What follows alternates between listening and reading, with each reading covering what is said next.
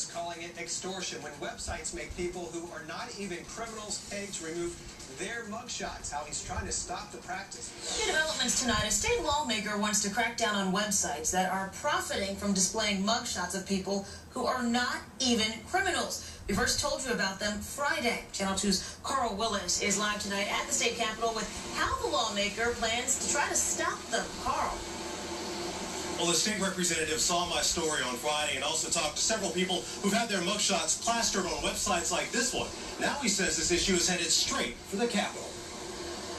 I have every intention of trying to put some sort of legislation in place when we go back in January uh, to address this issue because it's not correct. State Representative Roger Bruce says the dozens of websites that display mugshots, then charge to take them down, are creating a growing problem across Georgia.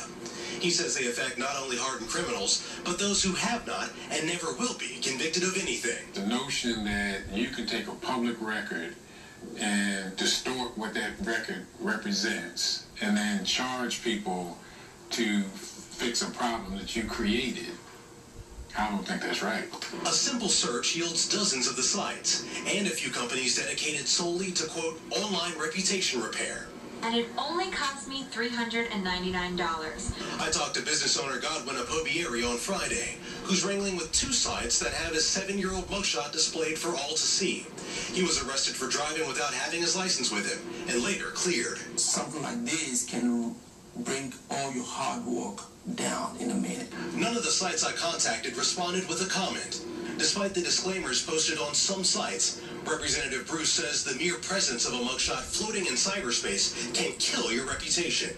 I think that's a crime in and of itself. Maybe their picture needs to be out there. Now, these records are public record, but some of these sites claim that this is covered by the First Amendment, but some of their removal fees can range anywhere from $70 to $400. Reporting live in downtown Atlanta, Carl Willis, Channel 2, Action News, Night